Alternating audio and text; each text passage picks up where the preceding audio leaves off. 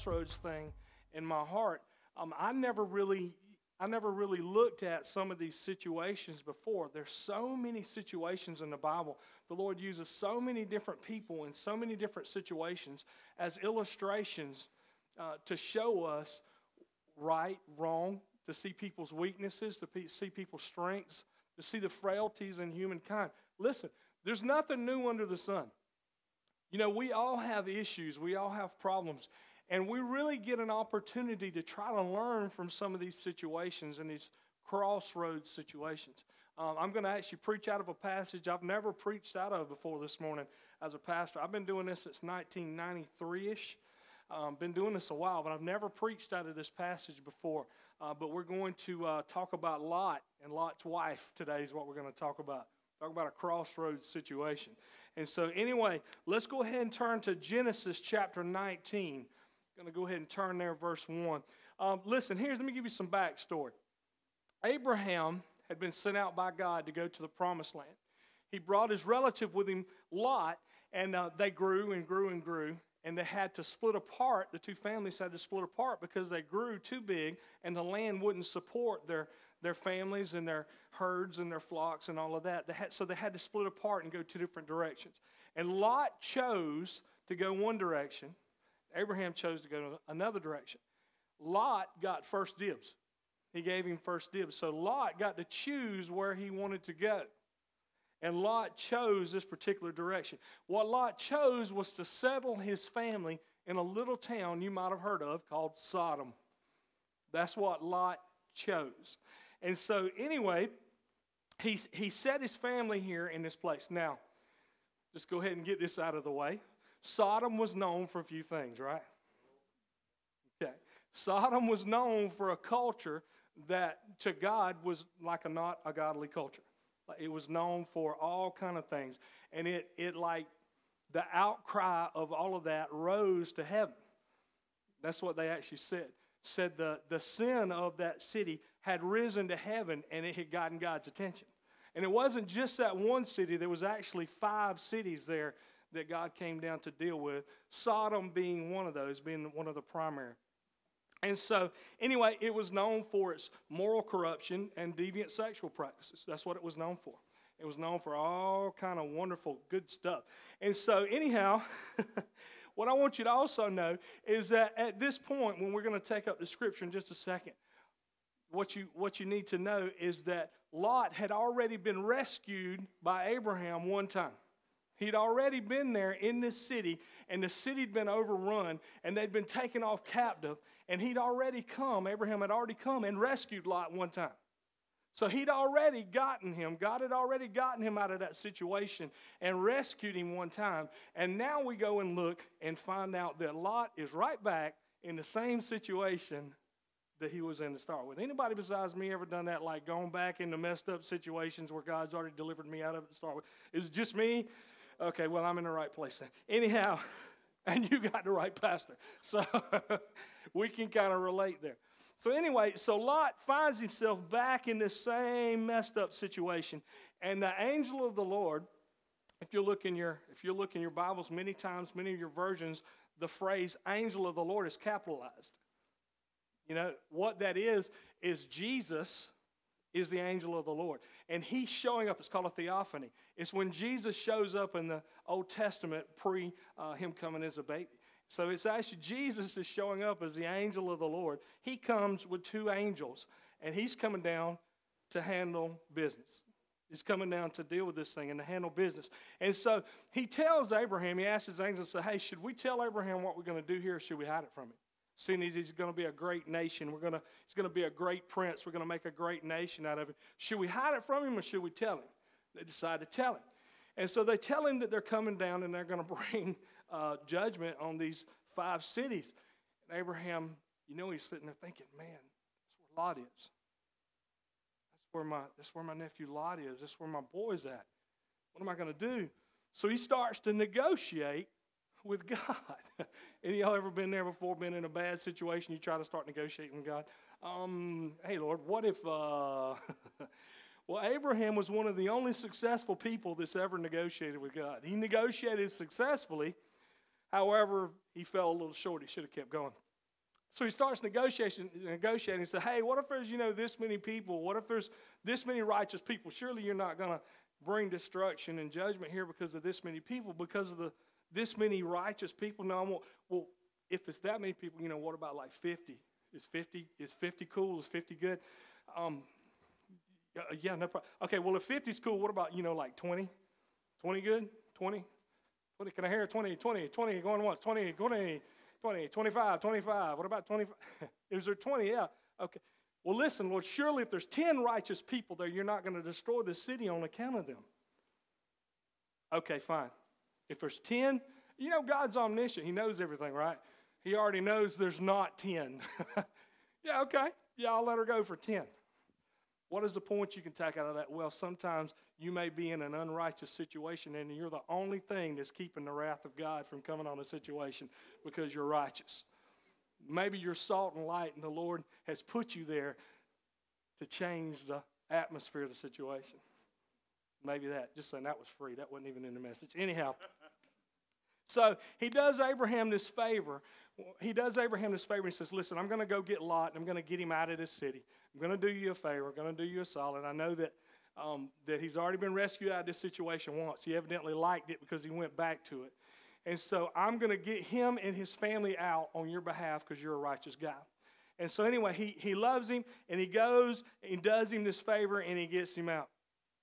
You know, many times, many times, on account of other people, I really believe that God has spared in my life.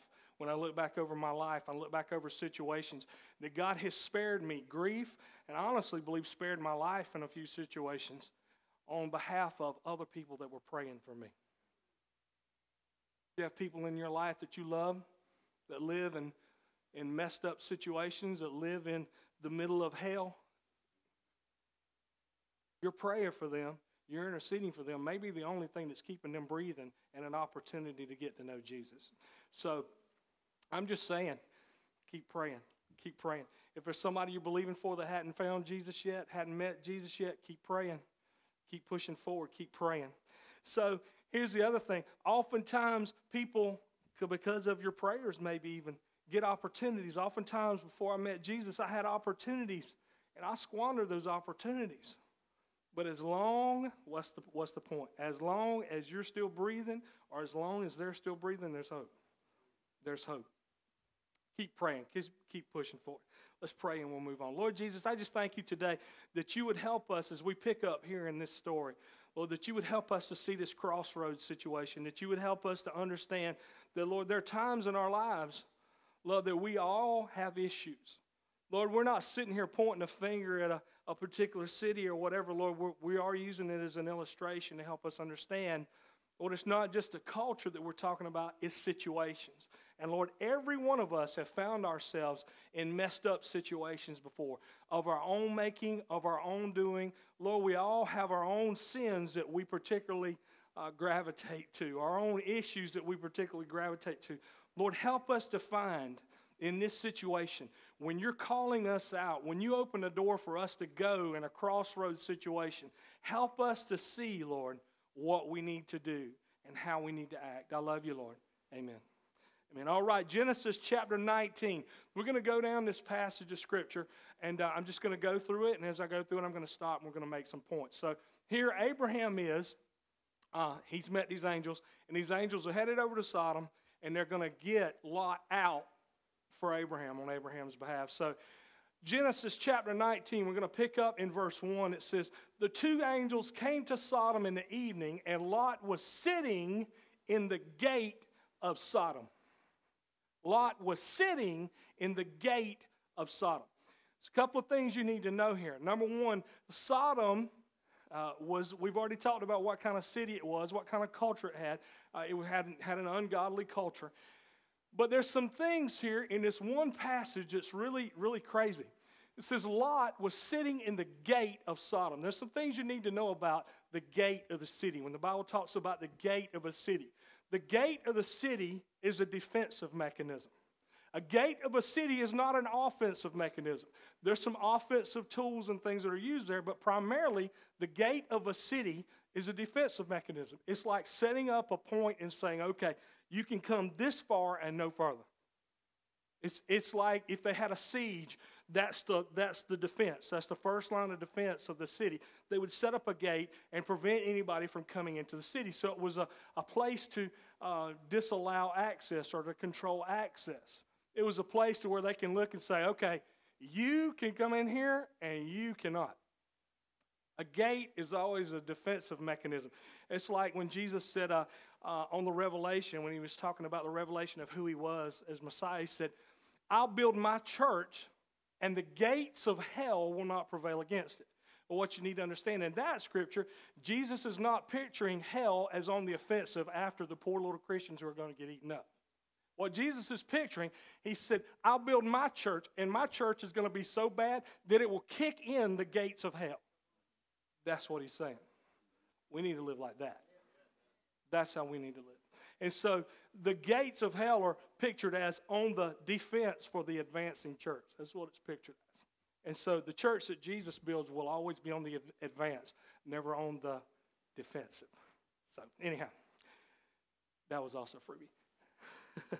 so, the other thing I want you to understand about the gates of the city the gates of the city, when it, the Bible refers to that, often it's also talking about the government. The government of the city.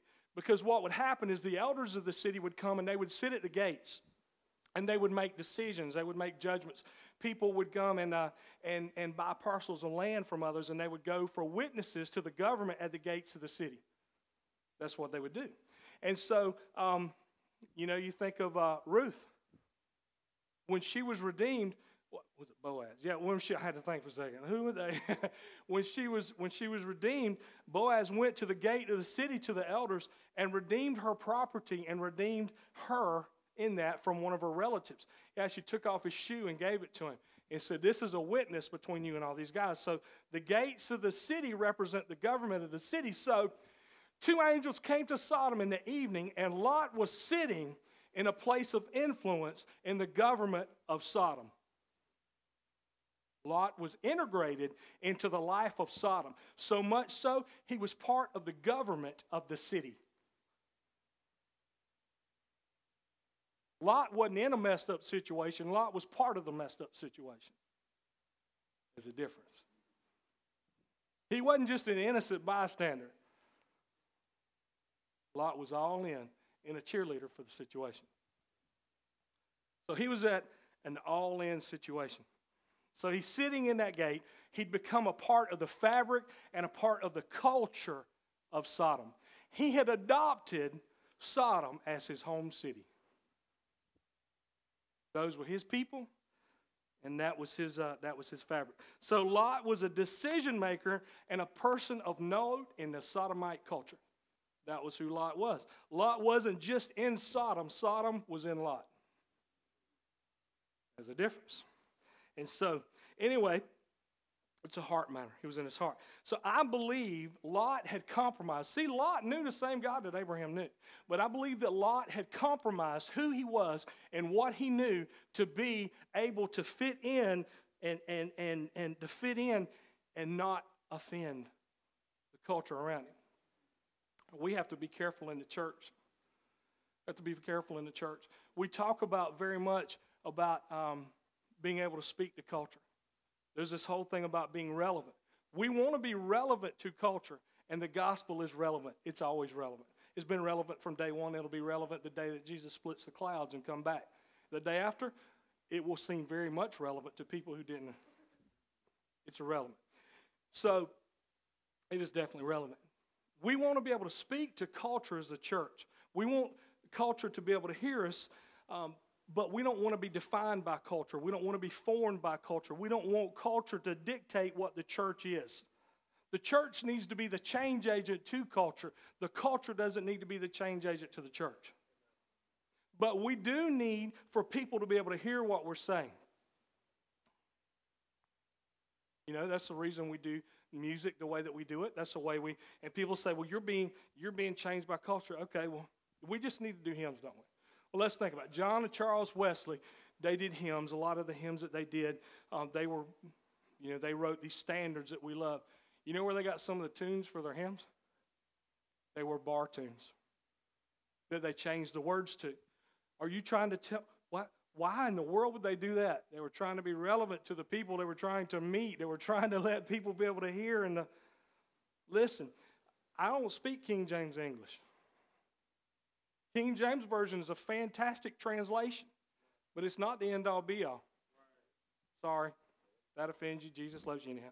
Um, but I don't speak King James English. I don't really understand it. But we do teach out of a literal translation.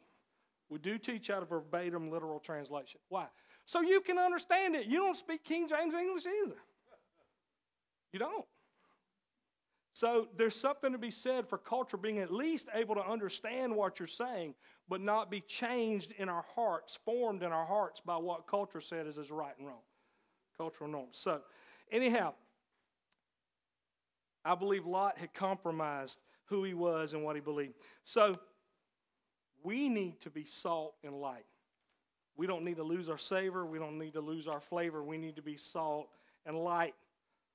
We don't need to be found to be people in our lives as individuals to compromise. If God sends you into an ungodly situation, that situation doesn't need to compromise who you are. You need to be the light in that situation. You don't need to dim your light in an ungodly situation so that you can fit in with all the other dim lights. You need to let your light shine before men about, about who God is, is in you. I talked about that this morning. You know, Jesus is alive, he just needs to be alive in us. Right? So, anyway, we're to bring good news to culture. We're to be the change agents to culture, not be changed by culture. All right, moving on.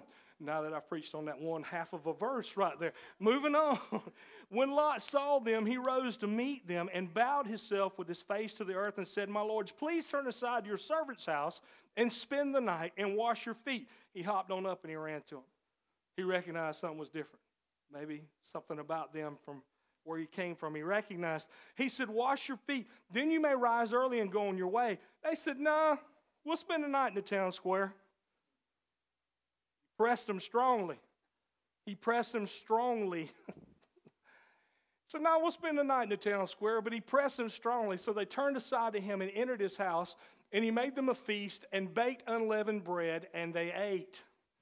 Baked them unleavened bread, and they ate. Got a question.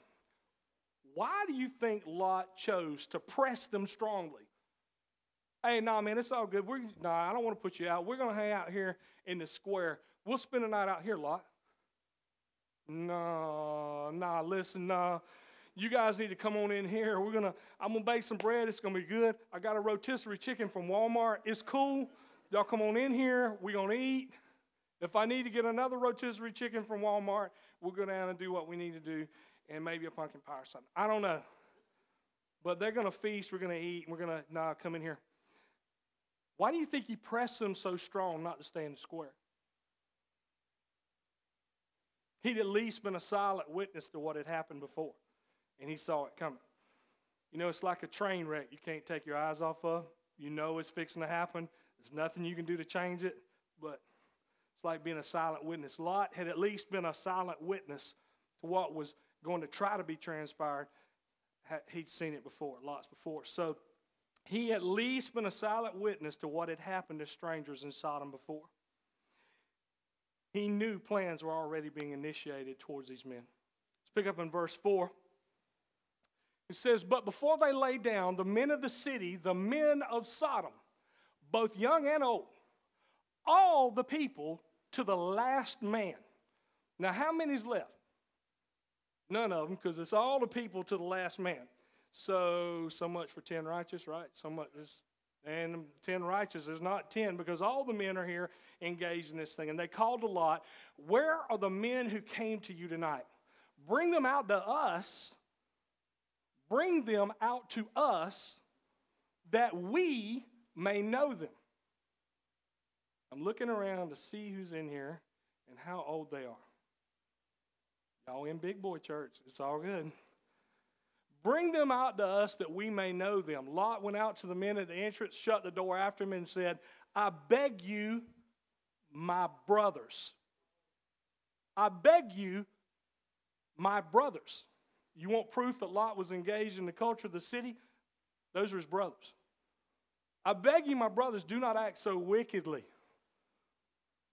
If you want to understand what these men wanted to do, they wanted to know them in the biblical sense. All the men of the city. They wanted to rape these men, is what they wanted to do. That's what they wanted to do. They wanted to rape these men. My, and my brothers, my, my brothers, you identify with this? This is cool with you, Lot? You know what makes me wonder? If last time strangers came to the city, if Lot was one of them standing outside the house. What it makes me wonder. I can't prove that, but you can't prove I'm wrong. Can't prove or disprove it. I beg you, my brothers, they wanted to take by force intimacy, intimacy from these men. Rape is about control. It's not primarily about sex. It's primarily about control, I really believe. They wanted to control the situation. Listen, oftentimes, I'm going to flip this on you. Oftentimes, in an ungodly culture, in an ungodly situation, that situation is designed to take some things from you by force. It's designed to take your purpose. It's designed to take by force your destiny. It's designed to take by force your calling. It's designed to take some things that are very intimate to you by force. An ungodly culture is designed to take your sense of right and wrong and twist it by force. An ungodly situation is designed to take your identity by force.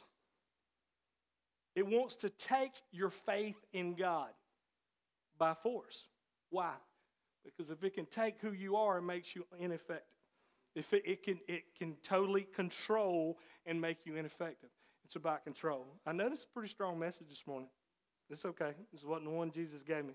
So it wants to take your faith in God. It wants to conform you to its belief system. An ungodly situation, an ungodly, uh, even if you deal with an ungodly person, they want to take from you many times what you believe and impose what they believe on you. That's called taking by force.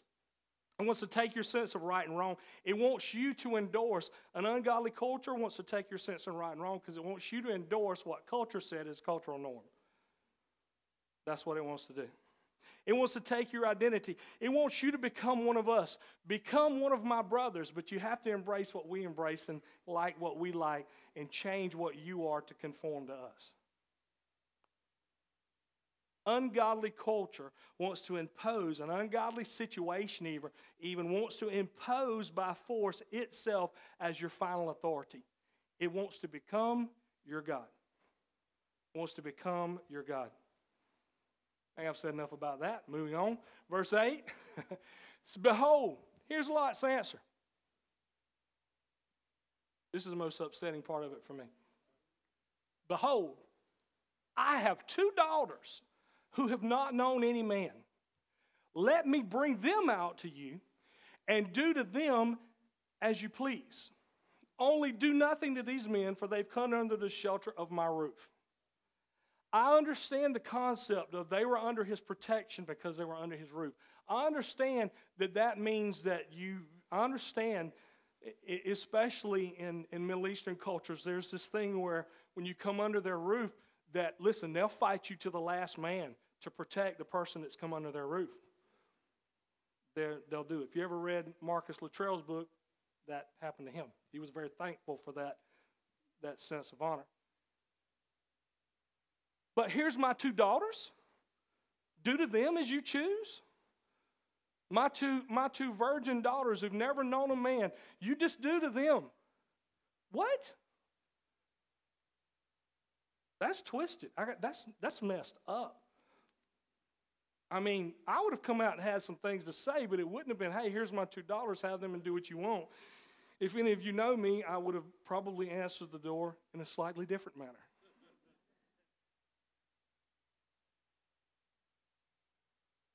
Yeah, anyhow, bandolier style. It would have been, anyhow. Maybe I watched too many John Wayne movies when I was a kid. I don't know.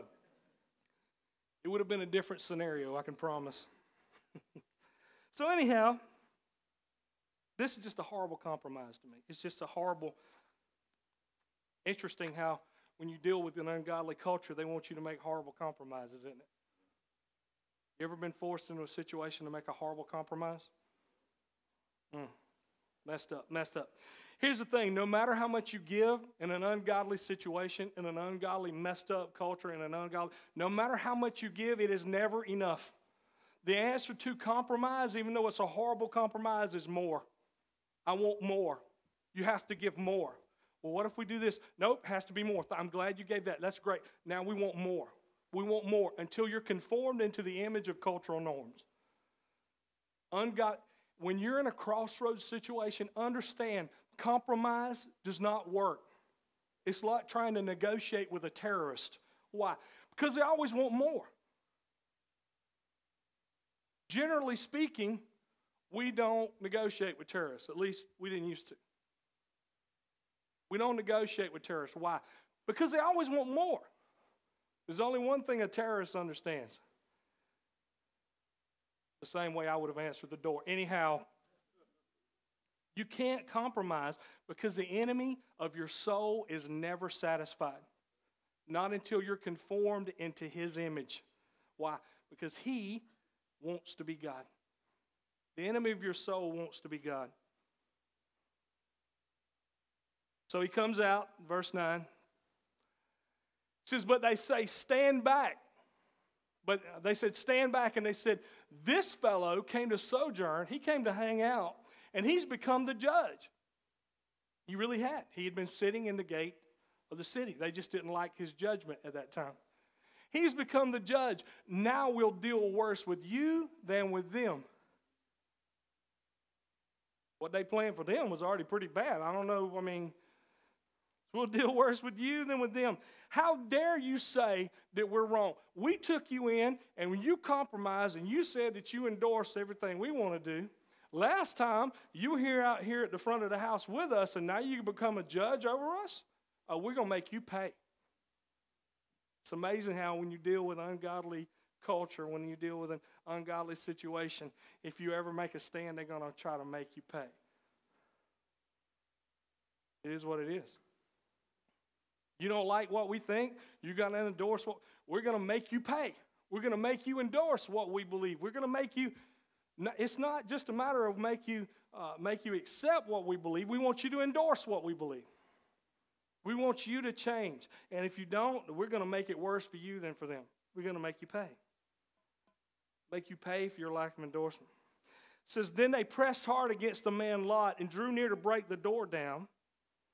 And here's where the script flips. But the men reached out their hands and brought Lot into the house with them and shut the door. And they struck with blindness the men who were at the entrance of the house, both small and great, so that they wore themselves out groping for the door. Hold on. Let me see if I can get this right. So they're out there trying to break into the house. Lot gets snatched back in the house. The angels strike them with blindness, and they still trying to get in? They're groping around blind and can't see, trying to get in and break into the house. They were dedicated. You got to give them that. Deceived and dedicated. How many times have you been in a situation where God just like does something miraculous and you think, well, that's it, but it keeps on pushing. It keeps on moving forward. It keeps on, keeps on pushing. So they wore themselves out groping for the door. Then the men said to Lot, Have you got anybody else here? Maybe that's Sorry, that's Southeast Georgia. I don't know where that came from. I didn't even read it. said, Have you anyone else here, sons in law, sons, daughters, or anything, or anyone you have in this city? Bring them out of this place, for we're about to destroy this place. Because the outcry against his people has become so great before the Lord, and the Lord sent us to destroy it. So Lot went out and said to his sons in law, Where? Right outside the door, where they were with every man who had gathered in the city. He went out to his sons in law, who moments before had been part of the crowd that were offered to, to do as they will to the two people they were engaged to. Maybe part of the same crowd that was struck blind trying to get in. So, so Lot was so immersed in that culture so immersed in it, he even didn't have anything, in his head or in his heart that said, listen, you don't want to give your daughters to this. To this, these two men that are outside the door. Mm. Anyway, do you see that? Does that mess you up? Do you, do you see that? So, he said, anyway, he went out and, and said to his sons in law, who were to marry his daughters, Up, get out of this place, for the Lord is about to destroy this city. But he seemed to his sons in law to be jesting. There's some things, people that date my daughters, there's a certain standard that I have for them. These guys here didn't meet it. Anyhow, so he was so invested in that system, it was, it was like he was willing to give his daughters there. But it says, as morning dawned, the angels heard Lot saying, Up, take your wife, your two daughters who are here, lest you be swept away in the punishment of your city. But he lingered. But he lingered. So the city had been judged by God. He knew that this was a dangerous and terminal situation. Lot knew this was a dangerous and terminal situation. He knew his family had been spared, and not because of his own righteousness. Guarantee he knew he was spared because of he knew he was spared because of Abraham. So he knew he'd been spared for all of this, but he still didn't want to get out. You ever been in a situation that you knew you shouldn't have been in, shouldn't have been in to start with, should have never been there? You knew the situation was messed up. You knew it was going to heck in a handbasket.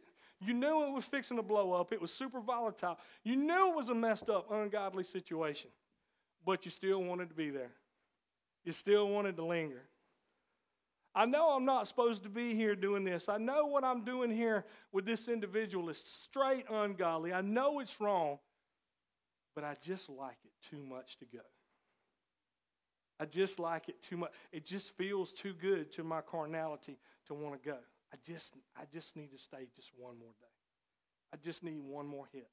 I just need to hang out with this individual one more time. I just need. Sometimes you just have to go. In a crosswords, crossroads situation, sometimes it's just best to get up when you're being saved out of a situation, redeemed out of a situation, sometimes it's just best to go. Sometimes we just need to go. Anyhow, I've acted like that before. I don't know if you ever had. I have. When God has brought you out of a situation and redeemed you and made the way obvious, sometimes you just need to take what you can grab and go. Sometimes you don't need to take anything. So, says, so he was, uh, he was lingering. Says, so the men seized him and his wife and his two daughters by the hand, and the Lord being merciful to him, and they brought him out and set him outside the city. And as they brought them out, one said, Escape for your life. Do not look back or stop anywhere in the valley. Escape to the hills, lest you be swept away. And Lot said to them, Oh, no, my lords. Oh, no, hold wait a minute. Oh, no, my lords. Get out. Don't look back. Go to the hills. Hit the bricks, son. in my paraphrase. Anyway, hit the bricks, go. Oh no, my lords, behold, your servant has found favor in your sight, and you've shown me great kindness in saving my life. But, but always gets in the way, doesn't it? But, I appreciate all you've done for me, but, but, listen, sometimes it's best just not negotiate. Just take the instructions and go. You show me this great kindness in saving my life, but I cannot escape to the hills lest a disaster overtake me and I die. Dude, if you stay where you're at, that's exactly what's going to happen. Behold, this city, this city is near enough to flee to, and it's a little, it's just a little city. This city is a little one. Let me escape there. Is this not a little city? It's just a little city and my life will be saved. And he said to them, Behold, I grant you this favor also, that I will not overthrow the city of which you've spoken. Escape there quickly, for I can do nothing until you arrive there. Therefore, the name of the city was called Zoar. Zoar was one of the five cities that was originally designated to be destroyed. It wasn't destroyed. It wasn't destroyed. Zoar here represents compromise.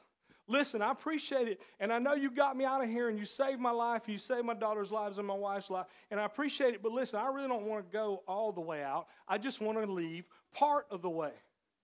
I don't want to leave all five of these cities behind. I just want to go to this little place of compromise. I just want to go to this little city. Listen, this is just a small thing. Listen, I used to do all of this, that, and the other. You know, man, I, I used to, listen, I just, man, I came out of, of, of, it's like somebody that came out of, it's like somebody that came out of um, intravenous drugs and cocaine and smoking meth or whatever, but they say, listen, I'm almost all the way out, but I just want to smoke weed. I hope that's okay. I'm, I'm part of the way out, but I just want to break it down real for you. That's where it's at. When we're in a situation where we've been redeemed, when you settle for a compromise, you are playing on the edges of fire. And when you play on the edges of fire, you're going to get burned. It's going to happen. You're going to get burned. When you play on the edges of what's acceptable, you know, this, it's like, what must I do to be saved? It's like, what's the minimum I have to do? When you play on the edges of your bad situation, on your addiction, on your, when you play around the edges of it, you're going get pulled back into it. That's what's going to happen. That's what's going to happen. There's, there's, it's just a messed up. If I hang out on the fringes of my past, I'm bound to get sucked back into it. If I hang out on the fringes of my past, I'm bound to get sucked back into it. Verse 23 And the sun had risen on the earth when Lot came to Zoar, and the Lord rained in Sodom and Gomorrah sulfur and fire from heaven, from the Lord out of heaven.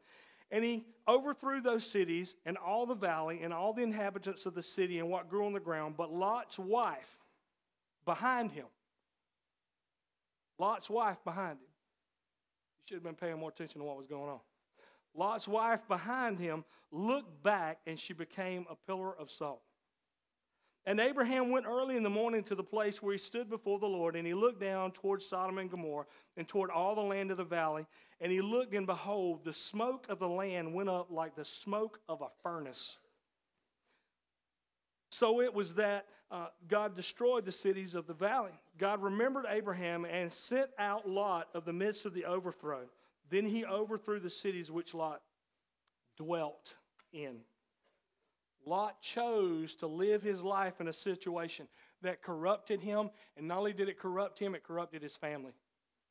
Not only had, not only had that ungodly situation gotten into him, it got into his family as well. You, if you keep reading, you'll see later on it also got into his daughters. It was an ungodly situation. What you do, where you choose to live your life, where I choose to live my life, the situations that I choose to live my life in, not only affect me, it affects my children a state of whatever, a state of, a state of addiction, a state of depression, a state of anxiety, a state of, uh, of, of an ungodly living situation, whatever.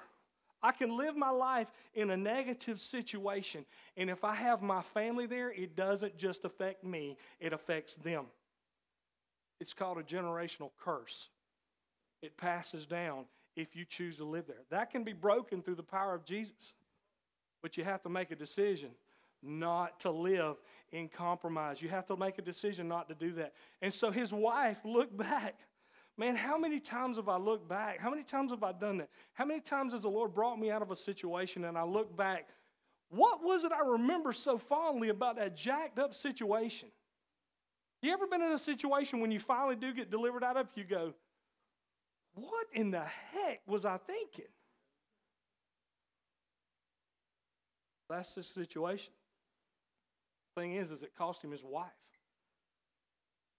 It cost him his wife. Might not have been a big deal to him, though. He was willing to give up his two daughters. Been a big deal to me. Listen, when you're brought out, when the Lord brings you out of a messed up situation, we have to allow God to get out of us what needs to be gotten out of us. We don't need to just allow God to get us out of the situation. We need to allow to get out of us the situation, what the situation put into us. It's called deliverance. It's called being set free. What we carry with us into a new season from the old season can kill you.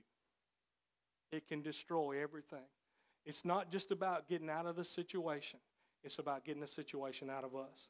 So when we make the decision finally to go, we also need to make the decision to let Jesus set us free.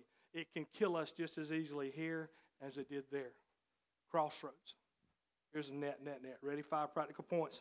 When we find ourselves sitting in the gate, when we find ourselves sitting in the gate, in a situation where we're not just a victim of a bad situation anymore, we're now part of it. We're now perpetuating it. When we find ourselves sitting in the gate, remember where you came from. Remember.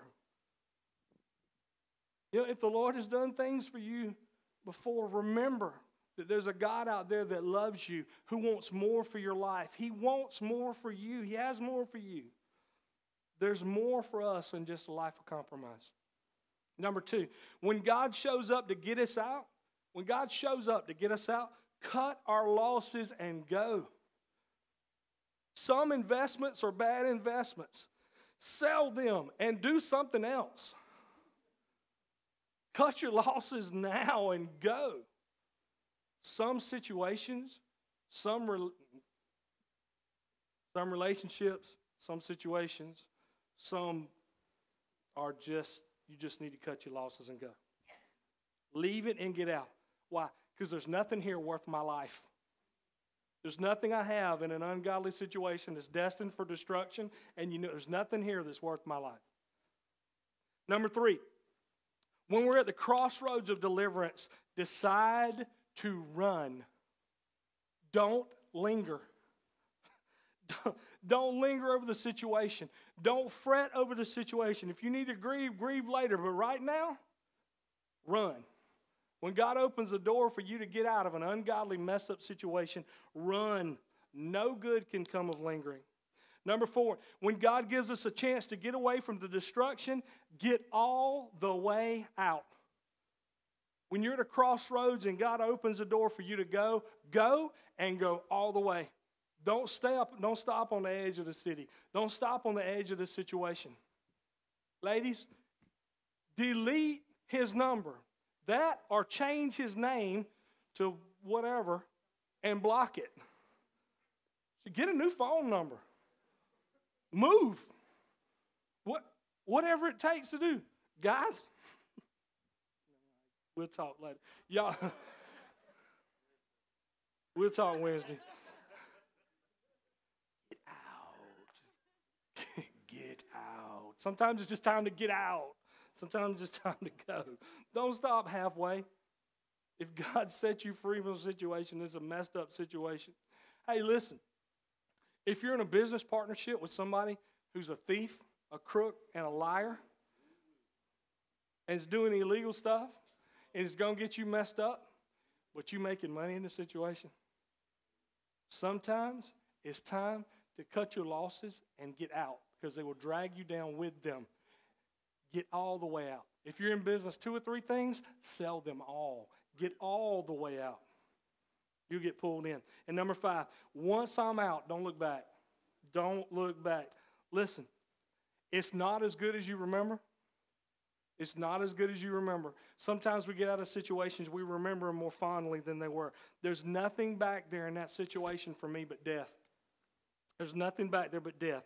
Don't return to my past mistakes. Can only be